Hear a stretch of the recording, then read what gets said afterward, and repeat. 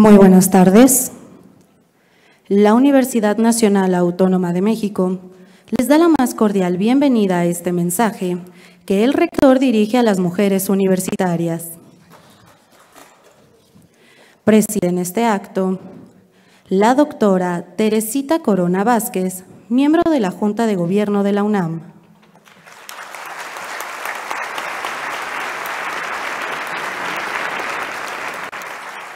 La doctora Mónica González Contró, abogada general de la UNAM.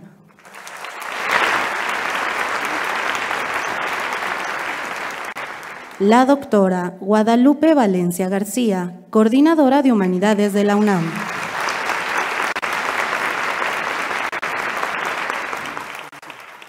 La maestra Leticia Cano Soriano, presidenta de la Comisión Especial de Equidad de Género del Consejo Universitario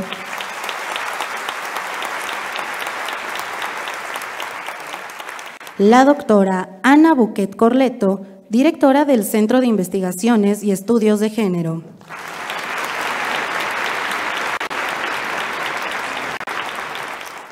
Alexandra Haas, presidenta del Consejo Nacional para Prevenir la Discriminación, CONAPRED.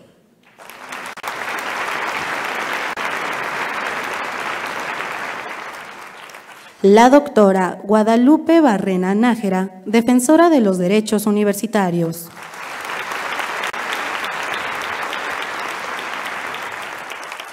La doctora Diana Tamara Martínez Ruiz, directora de la Escuela Nacional de Estudios Superiores, Unidad Morelia.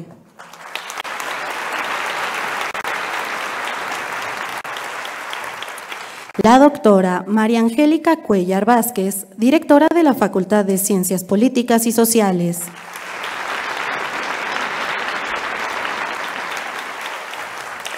La doctora Rosa Amarilis Zárate Grajales, directora de la Escuela Nacional de Enfermería y Obstetricia.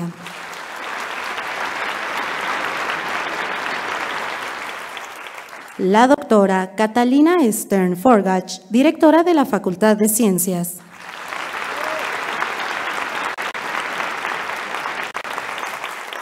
La doctora Rosa María Ramírez Zamora, directora del Instituto de Ingeniería.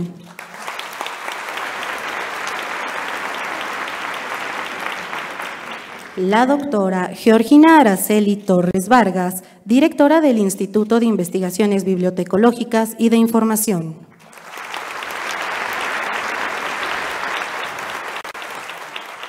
Mireya Feingold Steiner, presidenta ejecutiva de la Federación Mexicana de Universitarias, FEMU.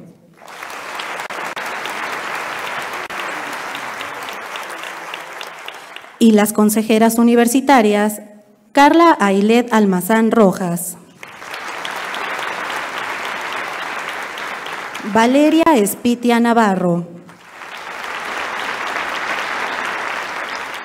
Katia Michelle Meléndez Hernández. Itiarey Castro Moreno.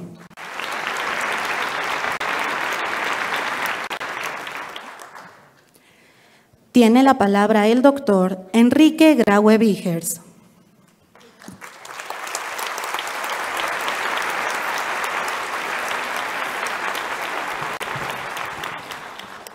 Muy buenos días.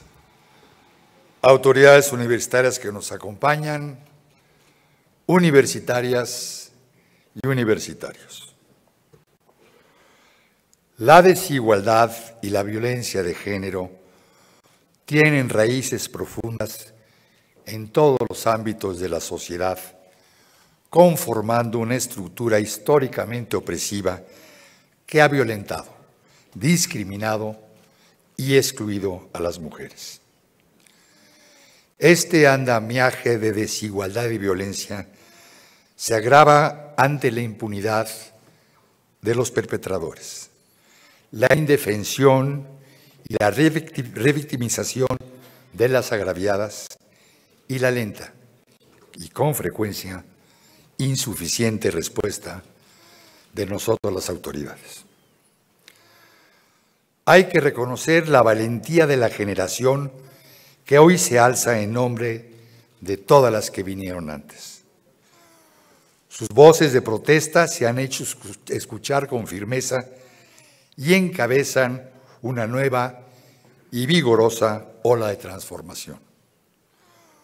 Sus manifestaciones en ocasiones nos pueden parecer intransigentes y radicales, pero las causas por las que luchan están llenas de verdades y dignidad. Dignidad y respeto que nos debemos todos. Y por eso tajantemente deploramos y reprobamos los actos de violencia y vandalismo que grupos ajenos a los legítimos intereses del movimiento han perpetrado en contra de la universidad. Pero al margen de esos muy lamentables acontecimientos, lo cierto, lo verdaderamente importante es que ellas y ustedes están apresurando transformaciones imperiosas y necesarias para lograr poder vivir con paz, igualdad y justicia. Hay que entenderlas como un llamado de urgencia que debe ser escuchado y entendido en toda su dimensión. La sociedad no puede esperar y la comunidad universitaria tampoco. Debemos tener absolutamente claro que las mujeres ya han esperado hasta límites inaceptables con un costo irreparable para decenas de miles de ellas. Como rector de la y a título personal, quiero decirles que cuando denuncian, les creo. Que cuando demandan justicia, comparto sus exigencias. Que cuando piden sanciones, me corresponde por convicción y obligación, lograr que los agresores sean sancionados conforme a nuestra legislación y enfrente, por supuesto, las consecuencias de sus actos. Apenas hemos estado dando los primeros pasos reglamentarios necesarios para combatir con mayor efectividad la violencia que se ejerce contra ellas. Se ha incorporado a nuestro estatuto la violencia de género como causa grave de responsabilidad y se ha enriquecido al Tribunal Universitario para que sea integrado con equidad de género. Y ya está en comisiones discutiéndose la iniciativa que busca conformar un órgano autónomo responsable de proteger a la mujer y velar por los derechos de todas y todos. La Comisión de Legislación Universitaria asimismo analiza las necesidades reglamentarias para definir la taxatividad de las distintas formas de agresión hacia las mujeres y los eventuales cambios que debe sufrir el protocolo de atención a los casos de violencia de género. Sin embargo, lo emprendido no ha sido suficiente y habrá que seguir adelante y desmantelar todas las estructuras socioculturales que permiten la violencia de género y aquella que se ejerce hacia los grupos históricamente discriminados. Combatir la impunidad y el encubrimiento. Contar con un sistema de justicia interna transparente que esté siempre presente y sea expedito, que apoye, acompañe y no revictimice que sea empático y que brinde atención psicológica a quien así lo demande.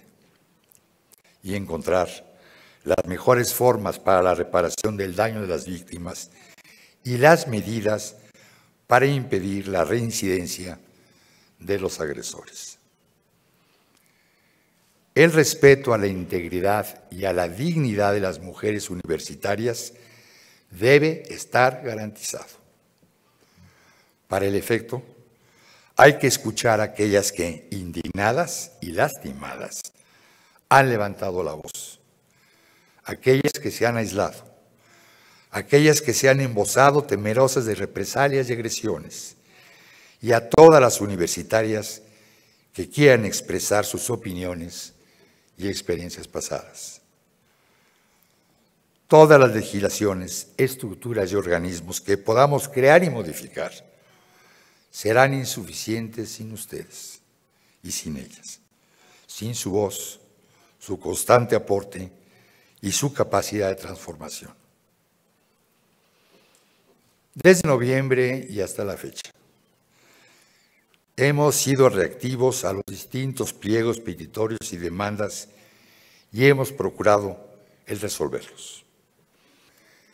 Pero debemos ya ir hacia adelante.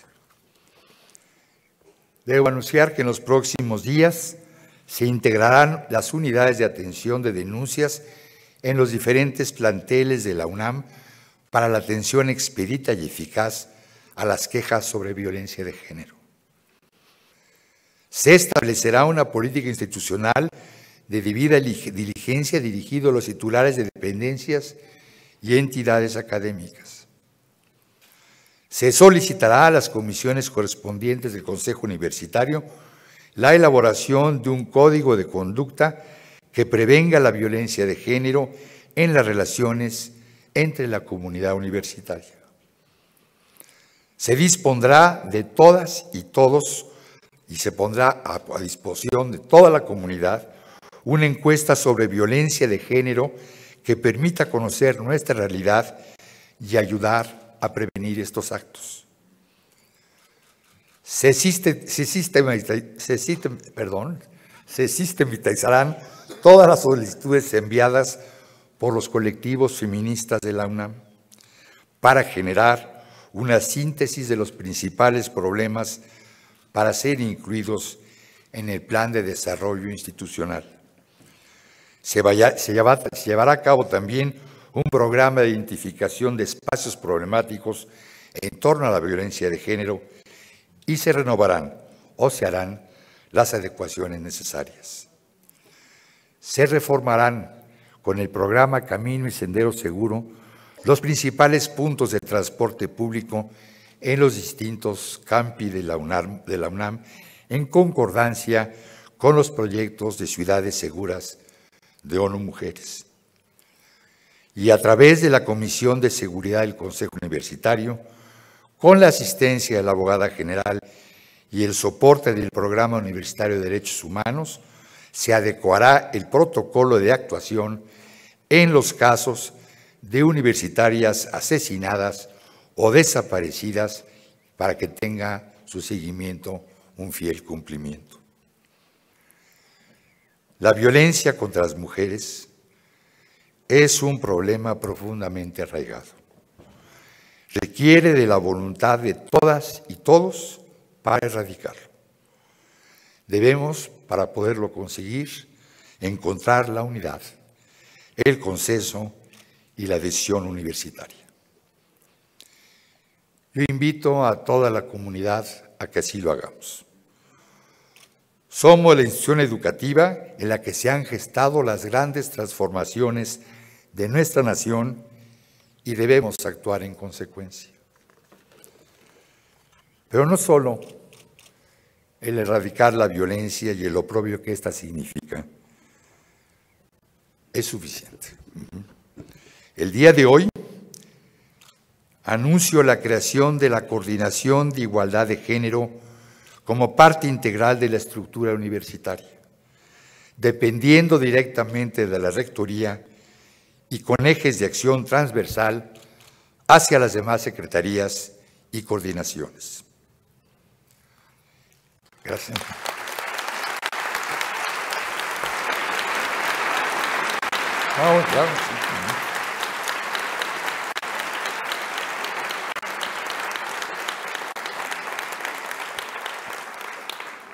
Debemos eliminar todos los obstáculos y superar las omisiones que impiden el libre ejercicio de los derechos de las mujeres.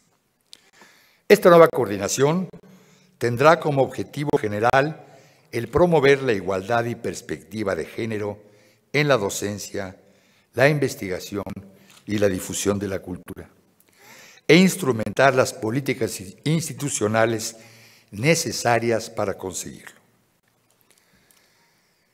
He invitado a la doctora Tamara Martínez Ruiz, directora saliente de la Escuela Nacional de Estudios Superiores Morelia, investigadora reconocida nacional e internacionalmente, innovadora docente y actual secretaria de la Comisión de Equidad de Género, así también conocidos por todos nosotros como una mujer comprometidamente con la igualdad, para que decida, para que encabece esta comisión. Muchas gracias, doctora Amada, por su discusión.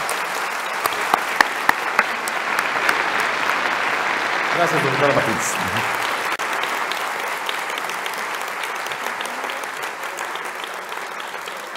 Como una primera acción, esta coordinación convocará a foros por escuelas, facultades y subsistemas de la investigación con miras a un congreso universitario sobre género y colaborará en la organización y difusión del Foro Beijing de la ONU Mujeres a celebrarse en los días en Tlatelolco, en el Centro Universitario de Tlatelolco, los días 7 y 8 de mayo del 2020.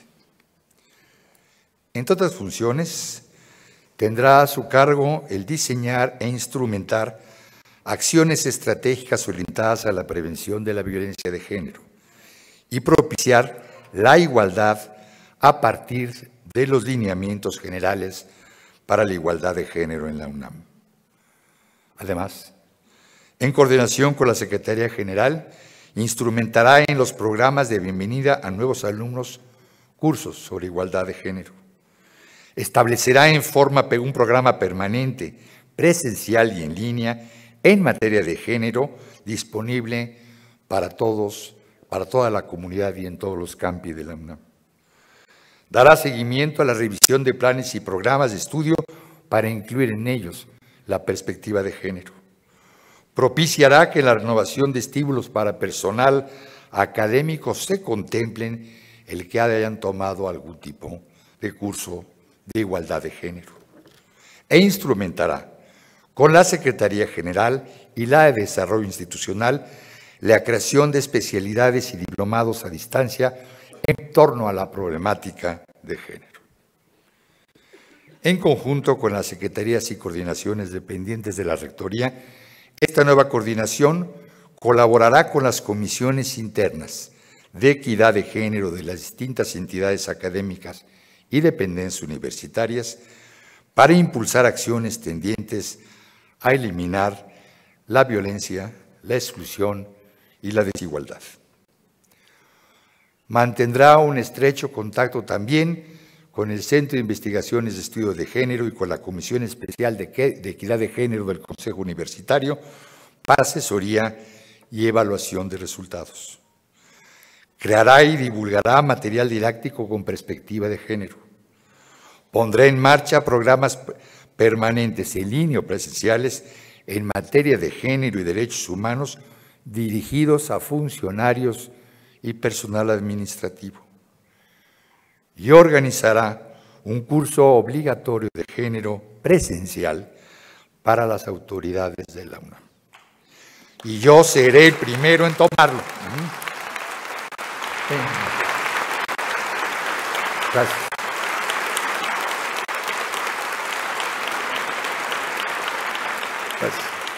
Y espero que todos los señores directores y funcionarios me acompañen. ¿eh?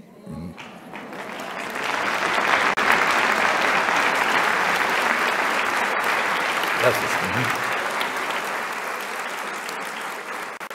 Asimismo, en conjunto con la Coordinación de Difusión Cultural y la Dirección de Comunicación Social, se establecerá un programa de radio universitario sobre violencia e igualdad de género.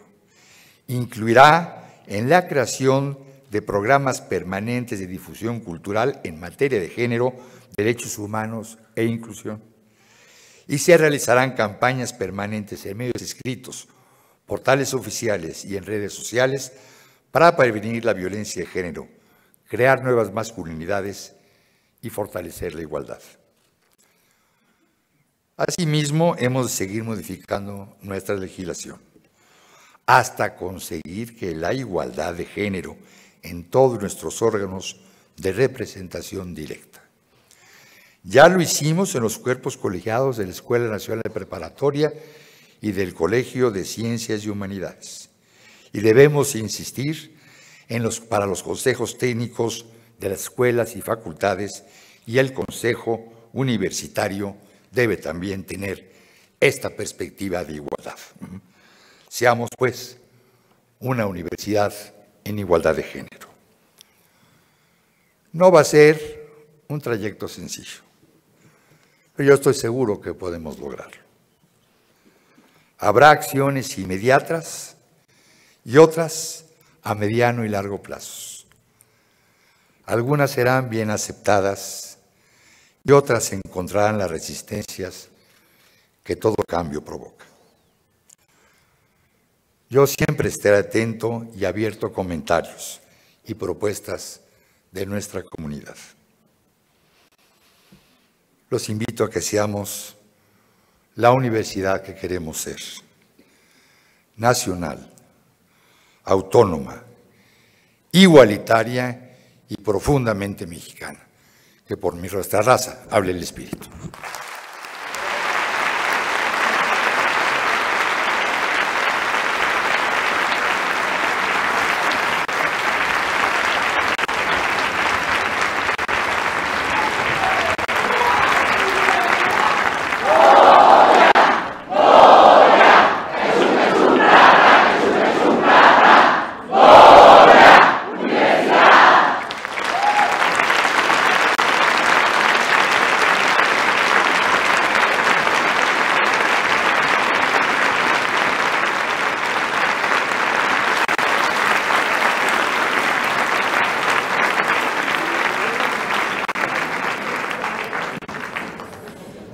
Es así como damos por terminado este acto. A todos ustedes muchas gracias. Buenas tardes.